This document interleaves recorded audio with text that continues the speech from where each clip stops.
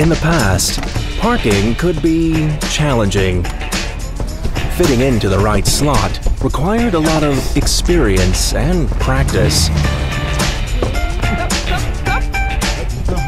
But then, things got better. We made some tools to assist you. But you still had to have an eye for the size of your car. Nowadays, we've got your back.